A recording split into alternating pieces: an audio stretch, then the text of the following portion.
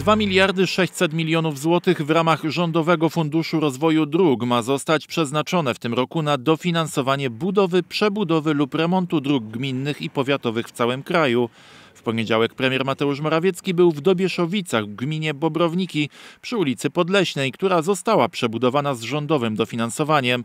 Prace zakończyły się w grudniu 2022 roku. My, dobierając zadania inwestycyjne, które chcemy złożyć e, we wniosku o dofinansowanie, przede wszystkim bierzemy w nich, e, na, mamy w nich na myśli potrzeby naszych mieszkańców i realizację tych potrzeb. W ramach Rządowego Funduszu Rozwoju Dróg w tym roku ma zostać przebudowanych 2800 km dróg gminnych i powiatowych. Pieniądze przeznaczone zostaną na realizację prawie 1800 zadań. Wszyscy wiemy doskonale, że wykluczenie komunikacyjne to wykluczenie społeczne, a my nie chcemy ani jednego, ani drugiego, bo wykluczenie społeczne to dramat ludzi, to brak pracy, brak możliwości dojazdu do szkoły, do szpitala.